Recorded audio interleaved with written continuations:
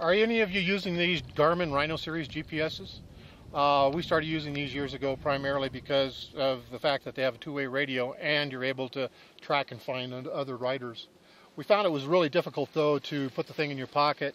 You'd have to take it out, center yourself again, find out where, which direction you go and put it back in your pocket. So referring to your pocket all the time was difficult to do.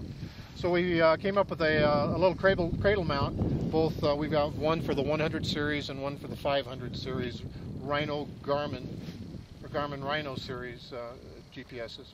Uh, they come with uh, a couple rubber, rubber grommets that hold it off the dash. So what you're going to do is put two holes through the dash, screws through the grommets, nut it on the back side, mounts on there, and it gives a little protection as far as vibration.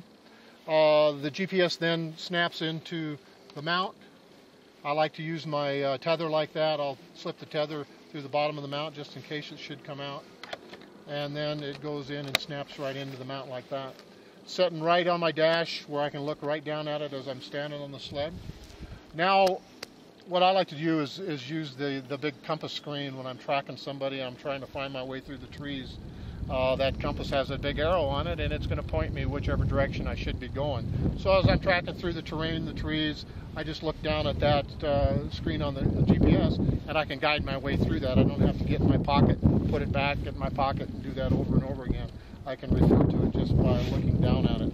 So it uh, solves the problem. It uh, makes that GPS a lot easier to use and, uh, and uh, just the job done for you.